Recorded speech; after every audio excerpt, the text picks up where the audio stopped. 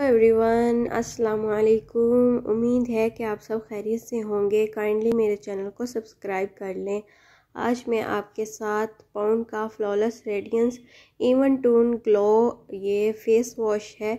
इसका रिव्यू करूँगी। ये ग्लोइंग के लिए है और इवन टून स्किन के लिए है। तो मैंने इसको यूज़ किया तो मुझे अच्छा लगा तो इस वजह से मैंने सोचा चलो आप लोगों के साथ भी इसका रिव्यू शेयर किया जाए। तो ये जो है, ये इवन टून फिशल फॉर्म है और ये वैसे तो मुझे गिफ्ट मिला है, ठीक है बट मुझे लगता है कि ये फाइव हंड्रेड का, क्योंकि इसके ऊपर मेंशन है, आपको मैं अंदर से भी दिखा देती हूँ ये किस तरह का है। इस फेस वॉश की खासियत ये है कि इसमें छोटे छोटे से दाने हैं।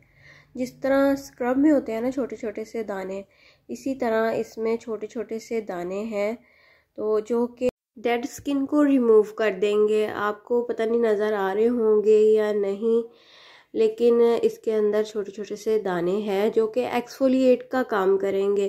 तो मुझे तो ये बहुत अच्छा लगा है। आप लोग भी इसको ज़रूर ट्राई करिएगा और मुझे बताइएगा कि आप लोगों को ये कैसा लगा है।